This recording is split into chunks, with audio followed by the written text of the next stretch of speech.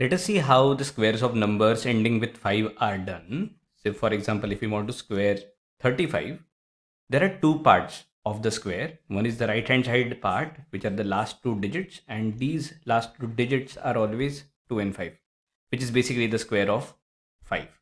So this 25 comes from the squaring of 5 and rest of the earlier digits for the square of 35 come from multiplying this number by its next number.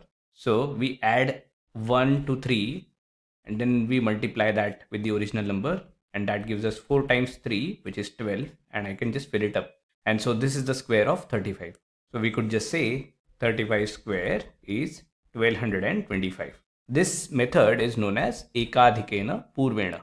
Let's just reinforce what we just studied. Let's take one more example. So if we wanted to square 115, so the right hand side part is going to be 25 and then what we will do is that we will multiply 11 with 12 because 12 is the next number for 11 and the multiplication of 11 and 12 is 132 and we just put 132 on the left hand side of 25 and that is the square of 115 so basically 115 square is 13225 let us square 85 square of 5 is 25 that is being put on the right. Then we do 8 times 9 which is 72 so this is the left hand side part this is the right hand side part. We just combine those and that is the square of 85